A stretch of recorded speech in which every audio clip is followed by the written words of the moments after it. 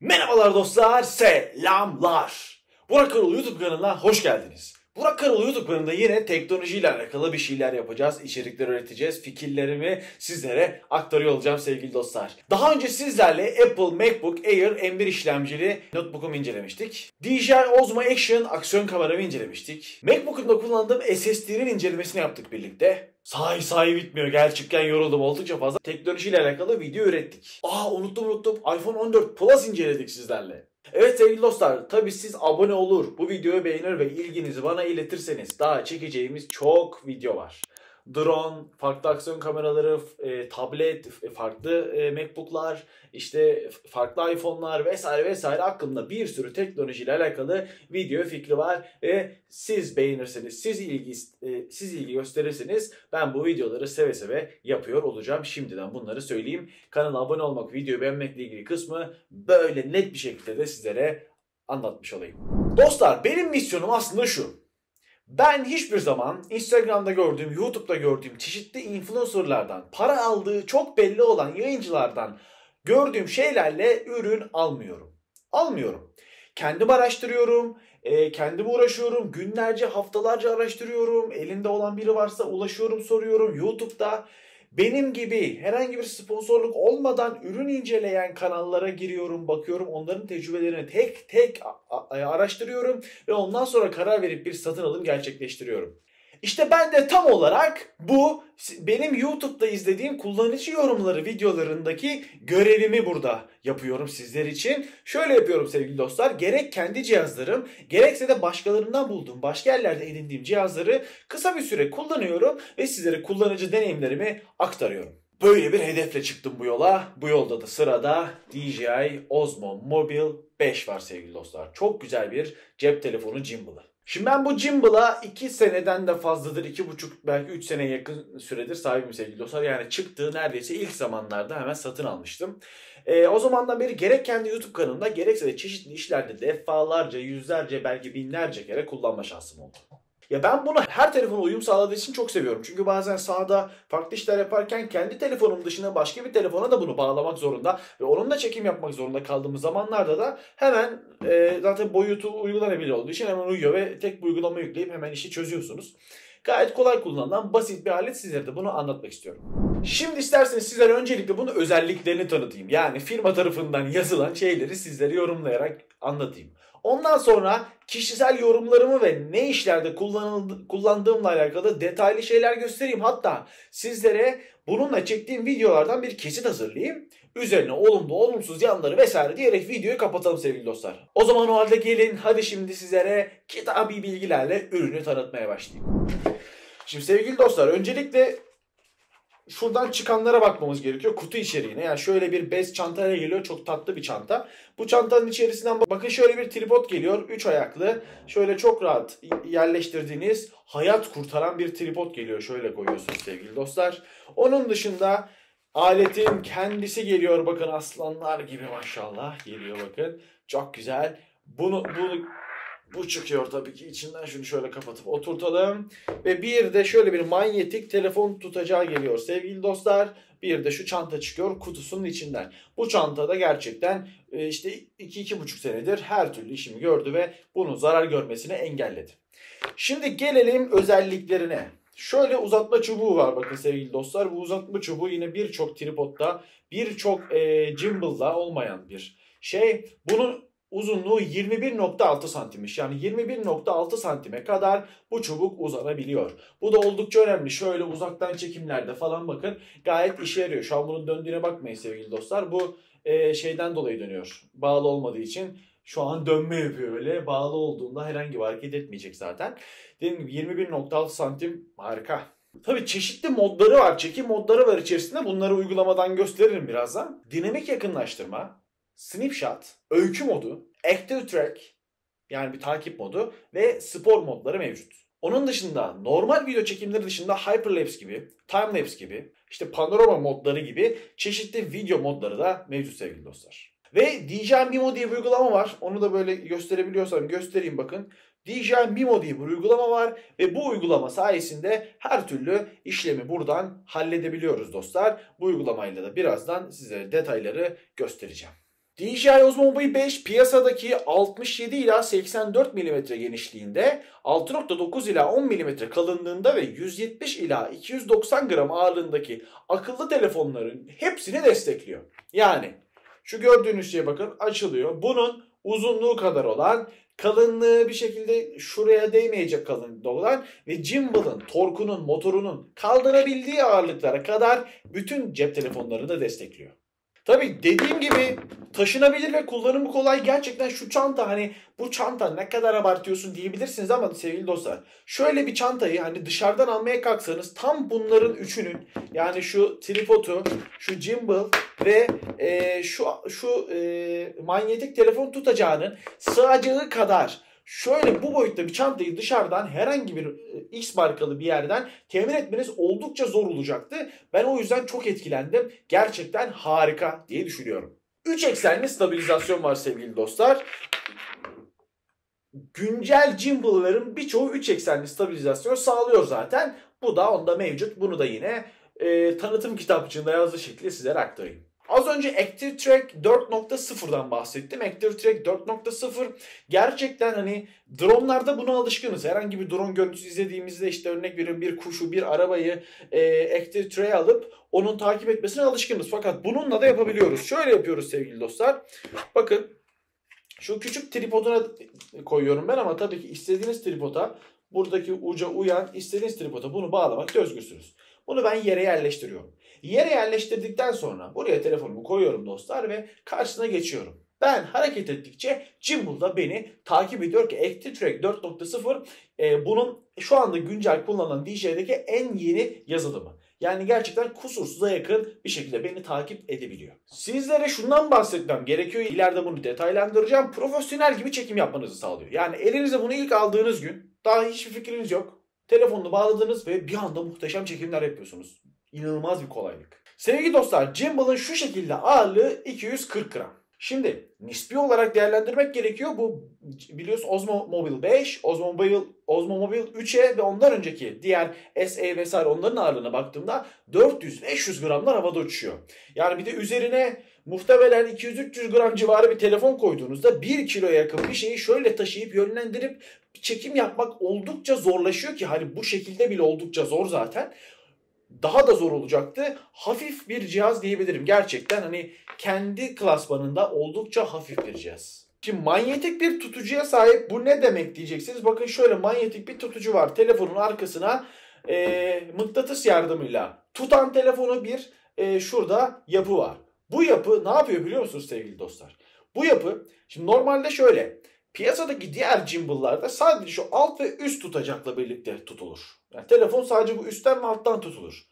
Bunda şu manyetik tutamaç da telefonu tuttuğu için mıknatıs yardımıyla yani aslında telefonun stabilizasyonunu daha kesintisiz bir şekilde bize ulaştırmayı sağlıyor Osmo e, Mobile 5. Sevgili dostlar 1,5 saatte şarj oluyor 6,5 saat aralıksız kullanılabiliyor bu cihaz. Dostlar gelelim kendi yorumlarıma. Güncel fiyatı şu sıralarda, video çektiğim sıralarda e, yani 2023'ün sonbahar ayları diyeyim e, 6000 lira civarında. Tabii ki indirimlerle, çeşitli indirimlerle ya da farklı şekilde biraz biraz şanslıysanız biraz daha ucuza bunu yakalayabiliyorsunuz ama 6000 lira civarı diyeyim biraz altı biraz üzeri değişiyor. Bu fiyata alınabilecek en iyi cimballardan biri olduğunu söylemem gerekiyor. Öncelikle bu bir. İki gelelim. Ben bunu neyin yerine aldım? Şimdi sizlere fotoğrafını göstereceğim. DJI Osmo Pocket yerini aldım. DJI Osmo Pocket sahibiydim ben. Ve DJI Osmo Pocket'ımı e, oradaki ekranın küçüklüğü işte onu yönlendirmenin zorluğu, dahili bir e, mikrofon bağlama zorluğu vesaire işte onu yönetme zorluğu bir sürü zorluğu vardı gerçekten mi? Hani bir kamera gibi çekim yapmak için oldukça zor bir cihazdı o. Ama Dedim ki yani iPhone o zaman için e, iPhone 12, iPhone 13'üm vardı. iPhone 13'üm vardı. Onun da kamerası gayet iyiydi sevgili dostlar. iPhone 14 Plus'a yükseldim. Bunun da gayet iyi bir kamerası var. Dedim ki ki şu andaki gibi profesyonel içerik üretip profesyonel şekilde bu işleri yapmıyordum. Sadece birkaç Instagram hesabım vardı ve o hesaplara ufak tefek videoda fotoğraf işleri üretiyordum. Onun için gayet yeterli olabilir diye düşünüp bunu aldım ve gerçekten bunu aldıktan sonra işlerim kolaylaştı. Çünkü sevgili dostlar hafif bir cihaz ve kullanımı kolay bir cihaz. Şimdi göstereceğim. Şuradaki tuşlarla çok rahat bir şekilde bakın şunu 360 derece yönlendirebiliyorsunuz gerçekten. Herhangi bir şekilde sağ sol yukarı aşağı diye böyle göstermemişler yani. Şu tuş, şu tuş kırmızı tuş kayıda başlama tuşu. Bu tuşla çok rahat şuradan kayıda başlayabiliyorsunuz. Şu tuş sevgili dostlar döndürme tuşu, dikey yatay döndürme tuşu tık tık tık tık hallediyor. İnanılmaz kolaylık sağlıyor yine. Şurada açma kapama tuşu var. Bakın şurada da şu şeyi e, şu tuşla da stabilizasyonu dengeye getiren hani kendine gel dedirten bir tuş var açıkçası. Şimdi birazdan cihazı e, telefonumu buna takıp sizlere üstün körü göstermeye çalışacağım. Evet sevgili dostlar şimdi sizlere telefonumu hemen takayım. Bakın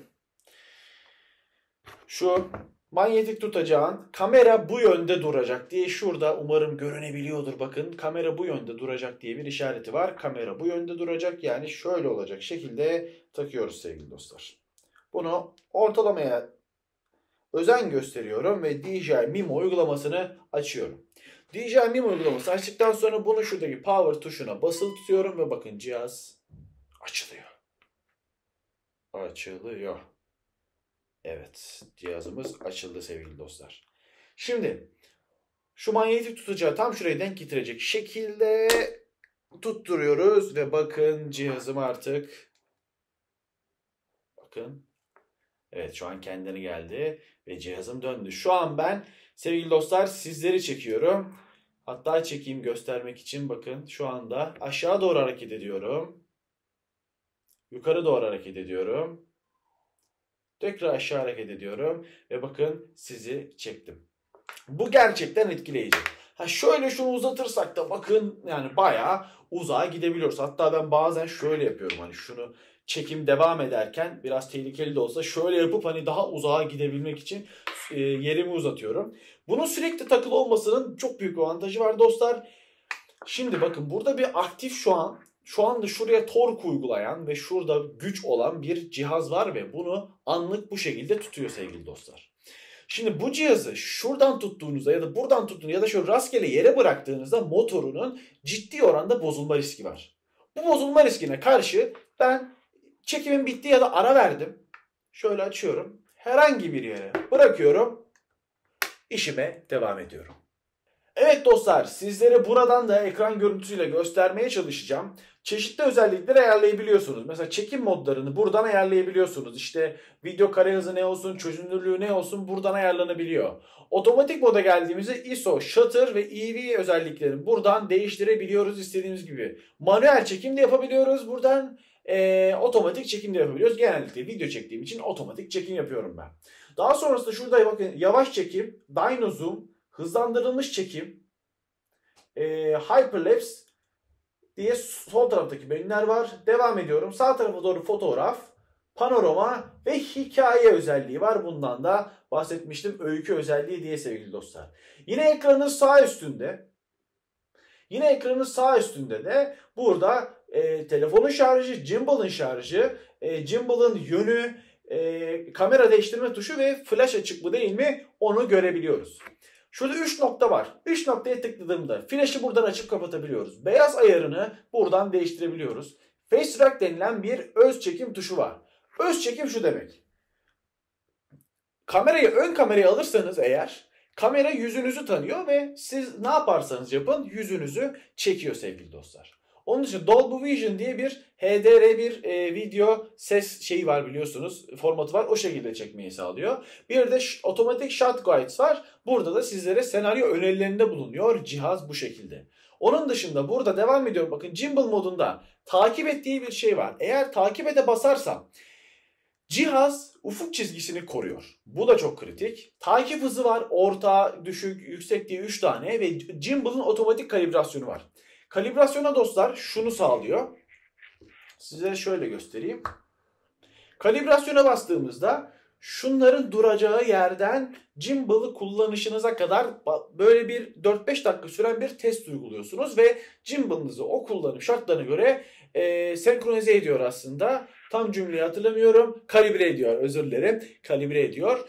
E, ya bunu açıkçası tabii ki her kullanışta yapmak biraz işin biraz işin tadını kaçırabilir ama bir 4-5 kullanımda yani ortalama ayda bir falan ben bunu yapmaya çalışıyorum ki gimbal'ımın tüm e, ayarlarını kalibre halde tutmak için. Onun dışında sevgili dostlar zoom hızını vesaire de yine buradan ayarlayabiliyorum. Ee, dediğim gibi oldukça etkileyici bir cihaz bence bu. Ee, Birçok şeyi sağlıyor sizler için. Yani mesela ben bir eğer aksiyon kameram olmasaydı da şunu bağlayıp aksiyon kamerası olarak telefonumu kullanabilirdim ama bu cihazı kullanmanın tek bir dezavantajı var benim için telefonumun burada kullanılıyor olması. Yani bu cihazda bir çekim yaparken sevgili dostlar telefonumu kullanamıyorum, erişemiyorum. Oradaki notlarıma vesaire bakamıyorum. Bu benim için özellikle profesyonel bir şekilde bu video prodüksiyon işini yaptıktan sonra biraz problem olmaya başladı. Artı bir müşteriyle profesyonel bir iş için görüşecekseniz de elinizde şununla gitmek yerine şu an beni çeken e, Fujifilm X-H2'si bir gimbal'a takıp gitmek de daha etkili olacaktır biraz maalesef. O yüzden bunu giderek daha az profesyonel işlerimde kullanmaya başlıyorum sevgili dostlar. Evet olumlu olumsuz yanlarından bahsettim. Birazcık şu rüzgarlı havalarda gerçekten rüzgarlı havalarda ki Burak Karal YouTube kanalında Skolar Rums'ta videosu var. Sağ üstte ekliyorum sevgili dostlar sizler için onu. O videoda oldukça rüzgarlı bir alanda ki sesten de anlıyorsunuz orada çekim yapmıştık ve gimbal'la çektiğimiz kısımlarda gerçekten gimbal dengede tutmak için hem sesimizi korumak hem de gimbal'ı dengede tutmak için şöyle siperler yaparak çekimimizi tamamlamıştık. O yüzden e, biraz problem diyebilirim açıkçası. Sevgili dostlar şimdi araya sizlere bu gimbal'la çektiğim, bu telefonumla çektiğim videolardan oluşan böyle bir çok kısa bir klip ekliyorum. O klipten sonra videoyu kapatalım isterseniz.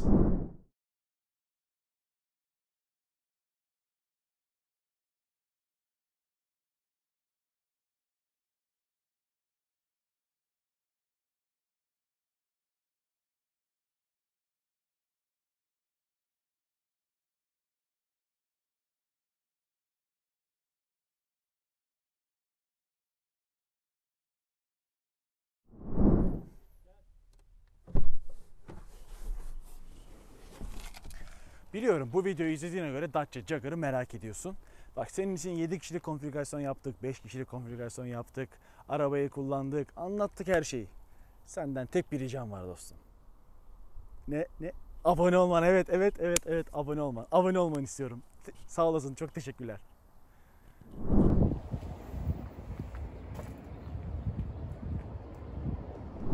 Evet aslında Apollon Tapınağı çok eskilerde burada Didim kentiyle birleşik bir haldeydi. Yani bütünleşik bir haldeydi. Etrafta hala e, o zamanlardan kalma evler. Bakın şurada koyunlar. Bakın koyunlar vesaire çok rahat görülebiliyor. E, burası ben de e, zamanında tabii şu e, taş kütleler üst üste koyulup bu tapınağın etrafı böyle korunmadan önce e, ben de buralarda çocukken top oynadığımla ilgili söylentiler duyar, e, duydum. E, o yüzden e, Didim Apollon Tapınağı her zaman Didim kentinin, Didima'nın e, sembolü olmuştu.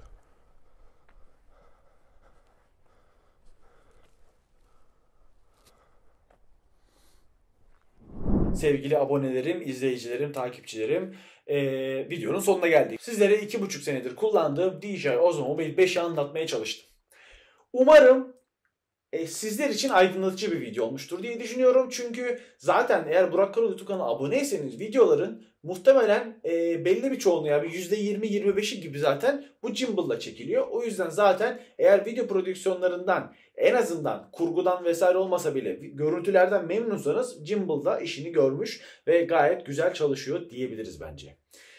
Sevgili dostlar o halde videoyu kapatalım ama kapatmadan önce sizlerden isteyeceğim şeyler olacağını sizler de düşünüyorsunuzdur tabii ki. Videoyu beğenmeniz ve kanala abone olmanız benim için çok kritik.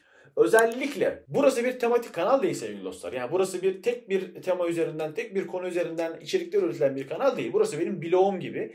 Yani e, Burak Karaoğlu benim ilgi alanlarım ve benim karar verdiğim, benim istediğim içeriklerle dolan bir kanal burası. Burayı hangi kanallarla, buraya hangi videolarla, hangi türlerle dolduracağıma dair geri dönüşlerde sizlerin beğenileriyle, sizlerin ilgisiyle oluyor. Mesela MacBook Air M1 işlemcili videomda hala alınır mı başlığıyla yine sağ üstte koyuyorum eklemiştim. Oldukça güzel karşılık verdiniz ve ben teknoloji videoları çekmem konusunda şevklendim diyebilirim sevgili dostlar. Aynı şekilde buna benzer diğer videolarda da hangi video daha çok beğenilirse tabii ki mecburen, mecburen, mecburen bu, e, sonuçta burası da bir gelir kapısı olduğu için sevgili dostlar mecburen o o videolara yönelmek zorunda kalıyorum. O yüzden teknoloji içeriklerini seviyorsanız bu videoyu beğenerek bunu belli etmenizi de istiyorum sizlerden.